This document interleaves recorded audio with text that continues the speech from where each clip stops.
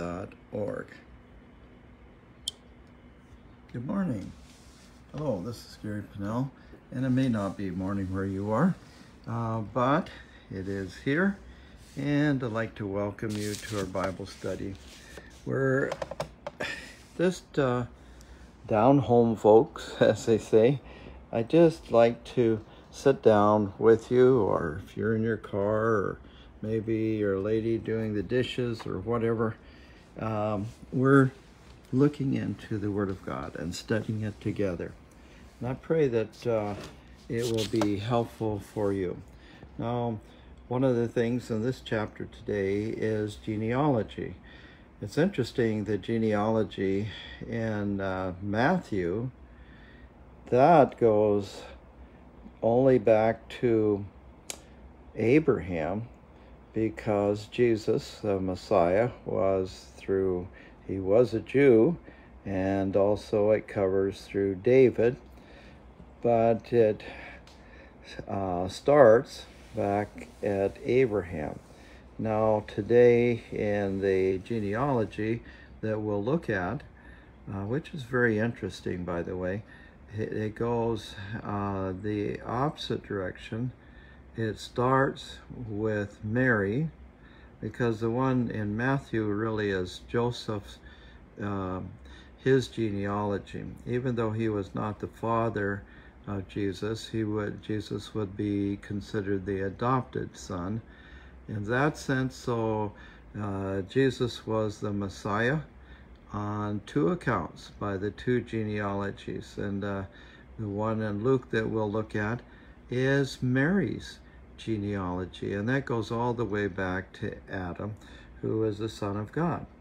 All right, and uh, the Messiah coming through Mary, a woman, the seed of the woman, which is talked about in Genesis chapter 3, it's capitalized there, then that would mean that Jesus would be born without the sin nature that was passed on to people. Jesus did not have a sin nature. And so I uh, trust me, I've done many hours of studying on this area of the genealogies and uh, there's the different opinions and so on but I will tell you that uh, it in Matthew the genealogy is of Joseph and uh, the genealogy and Luke here that we're going to look at just a little bit is of Mary okay so that's interesting, isn't it, uh, to think of. Uh, let's go ahead then with chapter uh, 3. It says, Now it came to pass, well, actually, it says, Now in the 15th year of the region of Tiberius, this is where they were at, okay, Pontius Pilate being governor of Judea. So these people are in uh, leadership uh, long before uh, even that Jesus would be um, crucified. He was. Uh, they were in leadership before that, uh, even three years before, uh, because Jesus is starting his ministry at the age of thirty. So who was in charge then? Uh, the ones that will be involved in the crucifixion. The, in the 15th year of the reign of Tiberius. So there was uh, Pontius Pilate being governor of Judea, Herod being tetrarch of Galilee, his brother Philip, tetrarch of Iturea, and the region of Trachonitis, and Lysanias, uh, tetrarch of Abilene. While Annas, notice here, people even three years before, and Jesus, as he starts his ministry, Annas and Caiaphas were high priests. The word of God came to John, the son of Zacharias, in the wilderness. Hello, Judy. The Lord bless you, sister in the Lord. And uh, we are in right now in Luke chapter 3, verse 3. So remember that Luke is a physician, he's a doctor, he's very well studied. He has interviewed many people, but the Holy Spirit speaks through him and helps him write down and has him write down the things that God wants him to write down for us even in this time. So now we're at verse 3 and it says, And he went into all the region around the Jordan, preaching a baptism of repentance. This is John the Baptist. Um, for the remission of sins. So that was his main ministry, was turning hearts back to the Lord. Hello, Kathy. The Lord bless you, sister. Uh, and verse 4 As it is written in the book of the words of Isaiah the prophet, saying, The voice of one crying in the wilderness, Prepare the way of the Lord make his paths straight. Now, I'm sure that John had read this, and the Lord showed him that he would be this one that would be saying this, even from the book of Isaiah. I think of Isaiah, I've said this before, as another gospel, because there's so much about Jesus and about even John the Baptist here. Every valley shall be filled, and every mountain and hill brought low. The crooked places shall he shall be made straight, and the rough ways smooth. And all flesh shall see the salvation of God. Uh, sometimes I don't think that we really, I didn't as I grew up, see the complete importance of all of these things that took place, but also the multitudes are thousands and thousands of people that were affected by the ministry of John. They came down, or they, they realized that John, the, the average person, realized that Jesus was a, uh, does the Messiah uh, later on, but also at this time, they, the average person realized that John the Baptist was a prophet. And actually, he's the last of the prophets. Uh, the Old Testament prophets, that's uh, John the Baptist, is the last of these. And he has a ministry of evangelism. He, um, the people in Israel, they claimed to worship the God of heaven, but they had gotten away from him in many ways. And so John goes out and preaches to them um, the message of repentance. Now, some people say, well, we don't need repentance today. We don't even need to talk about that. It just, we just need to believe in the Lord Jesus Christ. Well, I disagree with that. I believe all, if you look, you'll see Paul preached repentance. Uh, all of them preached repentance. And uh, the, yes, there are times that, uh, like the Philip, Philippian jailer, and when they when he asked, "What must I do to be saved?" Paul didn't have a chance to talk to him about all the details, but the most important thing was he believed on Lord Jesus Christ. And uh, so he did. But as far as salvation, it is we need to turn from our sin. That's what repentance means, to turn. Uh, and so turn from our sin and turn to Christ to save us. And so John was preaching that in the wilderness by the Jordan River, up and down the Jordan River. Uh, the Jordan River is very cold. If you decide to be baptized, you really mean business for the Lord. That's where I was baptized. All right, verse 7. then he said to the multitudes, they came out, thousands and thousands of people came out to be baptized by him. brood of vipers, who warned you to flee from the wrath to come. He didn't mince any words. He just told the truth. He just said what God had said for him to say, what the Holy Spirit had told him to say. Therefore, bear fruits worthy of repentance. And um,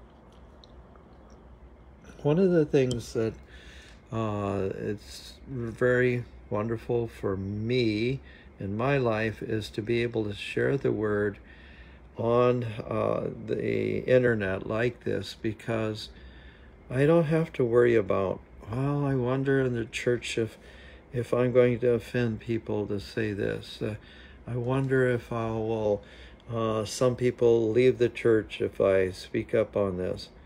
And I will tell you that uh, I'm not just making that up, but some people, when they hear the word like this, even know. When I share just exactly what I believe the word is saying, and I don't compromise the word, there's people that leave. Uh, we have uh, how many that you know say that they like us and so on on the and Facebook and that, but that goes up and down depending on the subject that I talk about. But you know what? That doesn't bother me because I'm just going to share the gospel message, the whole message, the, the full gospel, and let you know what it has to say. And then I'll let the chips fall where they fall. Well, that's the way John the Baptist was. I can't say that I'm as brave as he, he was. In fact, we're going to see how that he even talked to Herod and told him something that he needed to do to get right with God. But verse 7 says, Then he said to the multitudes that came out to be baptized by him, Brood of vipers. So he didn't try to win friends and influence people. He said, Who warned you to flee from the wrath to come? Hello, Esther. The Lord bless you.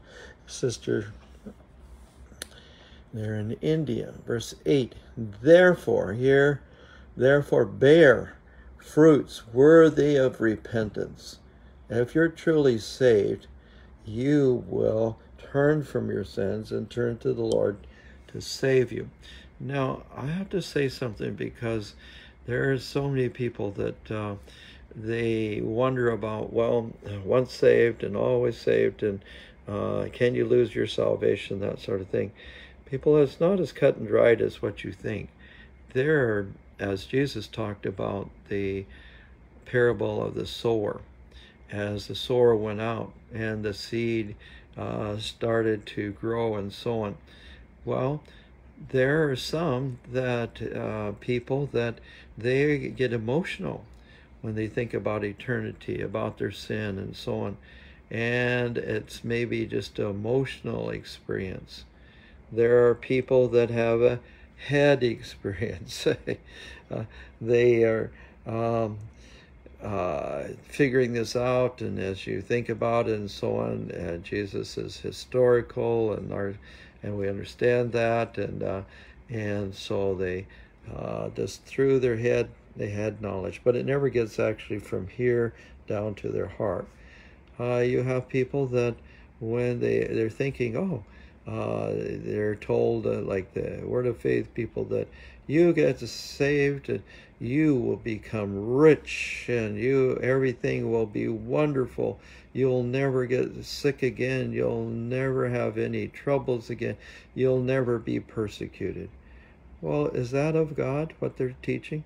No, that's not the Word of God.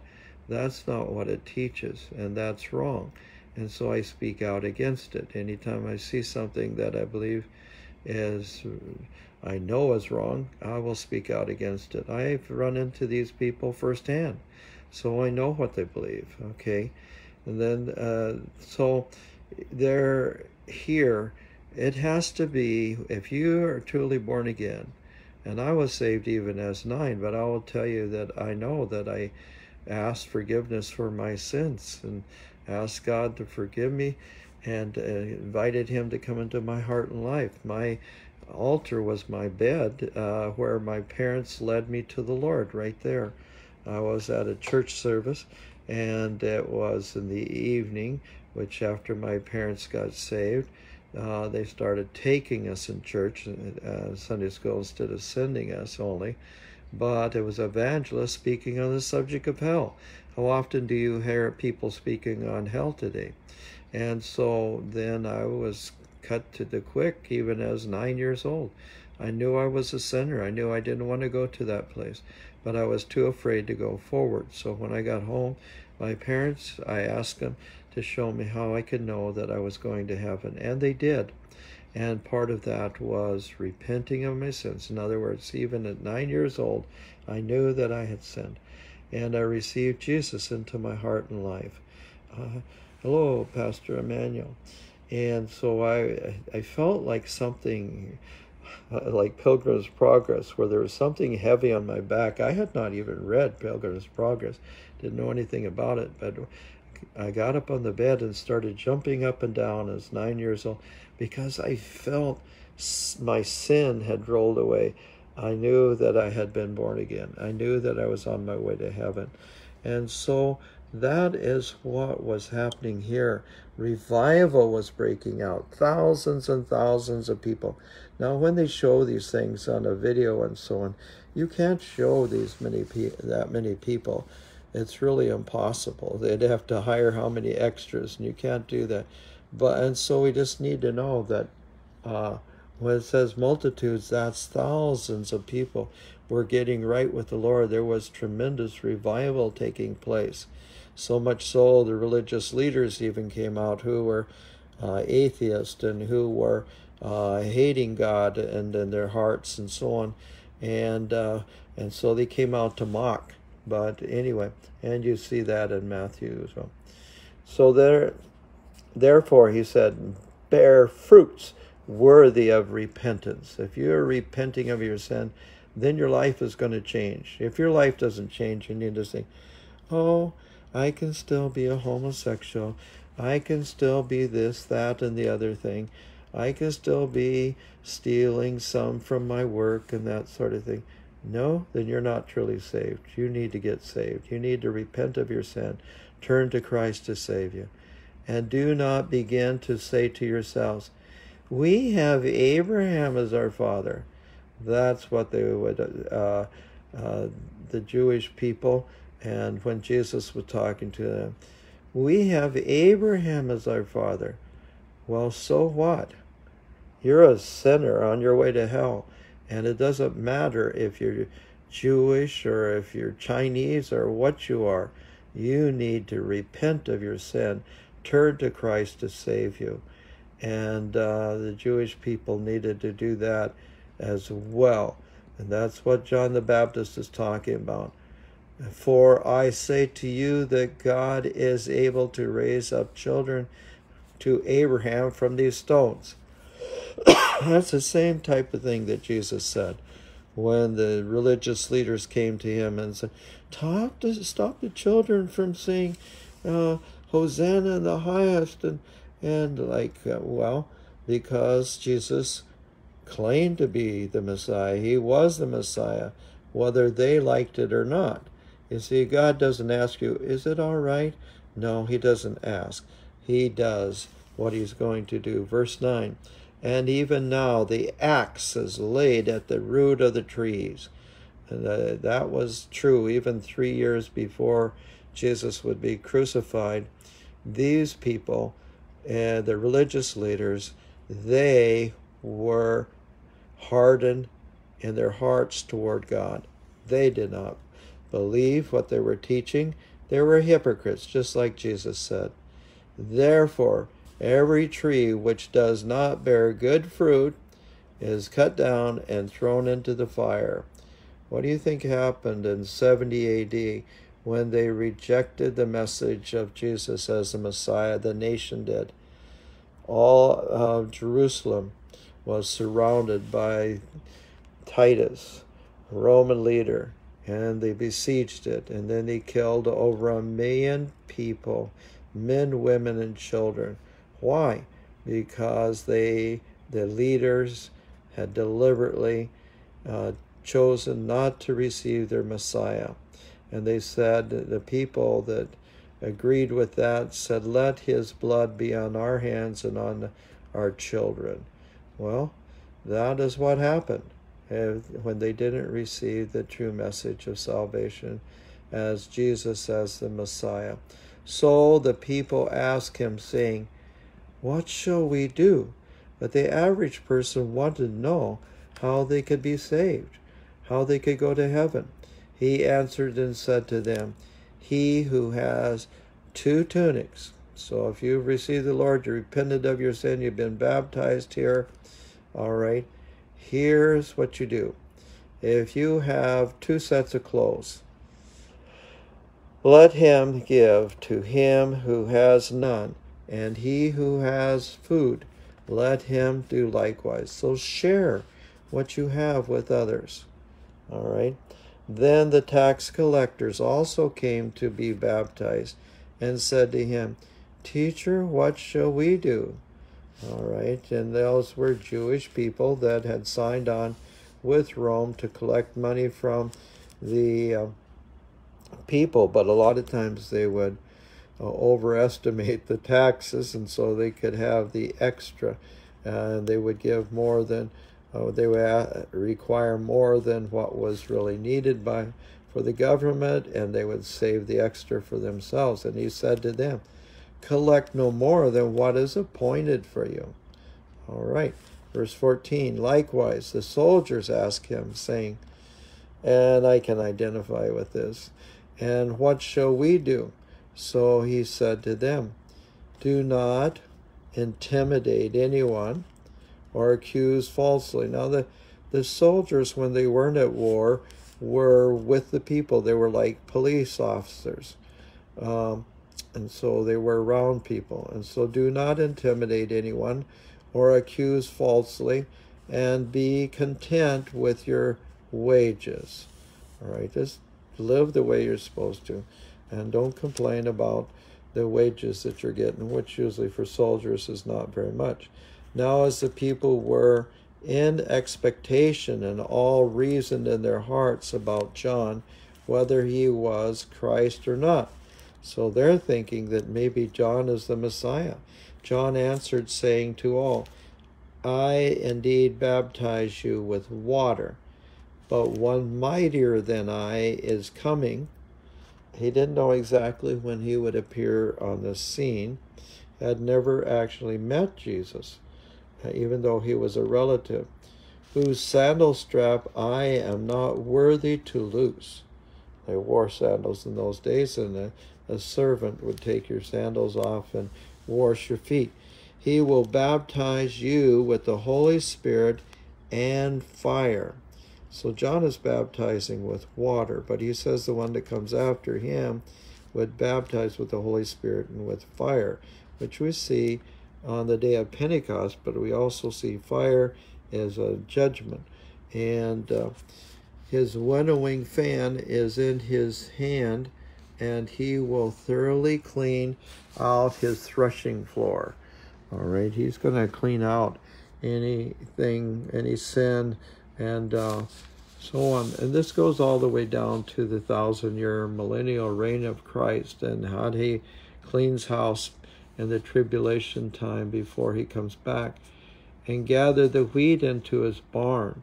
So uh, those that are truly born again, those that are truly living for the Lord, even uh, at that time, in our time, and in the future.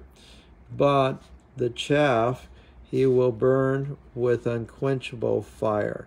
So the chaff is thrown up into the air and blows away, but it blows into a pile and they started on fire. And with many other exhortations, he preached to the people. The chaff uh, in the fire would be like going to hell, okay? And there will be fire, eternal fire there. Okay, verse 19. But Herod the Tetrarch being rebuked by John the Baptist uh, because he had taken his brother's wife. And she was a wicked woman too, and uh, had uh, John the Baptist beheaded, remember, and her daughter also. but uh, John the Baptist had told them that um, first that before they even threw him in jail that he uh, Herod needed to repent of his sin of taking his brother's wife and uh, rebuked by him concerning Herodias okay his brother Philip's wife and for all the evils which Herod had done and there were many also added this above all that he shut up John in prison. And then, of course, if, if Matthew will see how that John was beheaded uh, by him. When all the people were baptized, it came to pass that Jesus also was baptized while he prayed. The heaven was opened and the Holy Spirit descended in bodily form like a dove upon him, and a voice came from heaven which said, You are my beloved Son, in you I am well pleased. Now, here we see the Holy Trinity, all three at once, okay? Because Jesus is in the water being baptized the Father is, well, the Holy Spirit comes down on Jesus like a dove. It doesn't say he is a dove, but he appears like a dove um, several times. And he lands on Jesus, but it's like he uh, stays on him. In other words, uh, he was filled by the Holy Spirit in his ministry to the fullest. And then you have the Father speaking out of heaven. Uh, you are my beloved Son, and you I am well pleased. So the Holy Trinity, Father, Son, and Holy Spirit, three in one. And we need to keep that in mind. And now it's hard to understand, except that you can think about it a little bit. You are three in one you have a body, soul, and a spirit. All right? And maybe it's hard for us to understand that, but that's what the Word of God teaches. So you are three in one. But when you get to heaven, when we get to heaven, I don't know that we'll see the Father totally revealed in all his glory. We will see the glory of the Lord, the Father but and if we do, we will see that he is exactly like the Son, except that the Son has taken on a body and is in a glorified body, and we will definitely see Jesus there in heaven, and worship him, and uh, also the Holy Spirit, we, we will see him as uh, possibly as a dove or even as a person. He is a person. He uh, he is a he, and but they're all three together as one. And this is what we see when Jesus is being baptized. And that must have been amazing for the people that were standing about them. All right, let's get back to verse 3 now. Now, Jesus himself began his ministry at about 30 years of age you know. Uh, maybe it wasn't the exact day, but he, of his birthday, but he was right at about 30 years old when he started his ministry. Okay, uh, being as was supposed, and these are a comment that's put in here, the son of Joseph. Okay, the son of Heli. Um, Heli would be um, the father of Joseph, be Mary's uh, father-in-law. Okay, and uh, so we need to understand something about this genealogy. I did I did mention it at the beginning, and I've studied this in great detail. Trust me, and uh, even last night I spent probably maybe an hour or longer yesterday studying into this. Oh, it was yesterday morning, I believe. But as, uh, because we had uh, Labor Day, but as I've studied it, and uh, I've always uh, recently come to the conclusion, as many others have studied it in great detail. If you study Matthew's genealogy, that is about Joseph. You say, well, Joseph is not Jesus' father.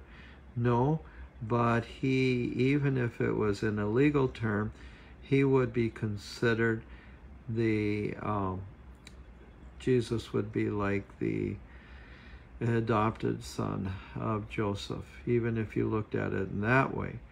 So, through the line of Joseph, which goes back to Abraham in Matthew, uh, you will see, and it goes through David, you had to be the son of David. It goes starting there and goes through down to uh, Joseph. All right. But as we know, Jesus was not born of Joseph, he was born of the Father. And so the genealogy that we have here in Luke, because remember, Matthew covers Jesus as the King, the Messiah, and the um, Matthew as the Lion, the tribe of Judah. Whereas Luke is picturing Jesus. The theme of Luke is Jesus, the perfect man. And so in this genealogy, and uh, sometimes I just skipped over genealogies. In fact, last year, I think when I taught through Luke, I think I just skipped over it, not sure. But the thing is, uh, the more I think about it, the more important it is to show to the Jewish people that Jesus is truly their Messiah. And so through Mary, the genealogy, genealogy which uh, Jesus was truly human, and truly God, totally God and totally man. One day in a Bible study, a guy said, Jesus was half man and half God. No, he was totally God and totally man. And so, in order to go back and Jesus' humanity and Luke, Jesus being the perfect man, you go all the way back to Adam, who is the Son of God and because uh, God created him. And so Jesus is also the second Adam. He is the Son of God. And we see that here. Uh, so it goes back to show his father and uh, Mary. And then he is the seed. Jesus is the seed of, of Mary, uh, the seed of the woman and uh, so he has no sin nature. And that is something very important to understand. Jesus did not have a sin nature. Now, he was tempted in every way as we are, but we have a sin nature. We've been born again, yes, and we're to reckon that our old nature is crucified, the sin nature, but we still have that sin nature. Jesus did not have a sin nature. Now we're going to read the genealogy, and I'll do the best I can to pronounce the names, but I think it is important to read it and to realize that this is going back from Mary uh, all the way back to the beginning, to Adam, because Jesus is the Son of Man as well as the Son of God.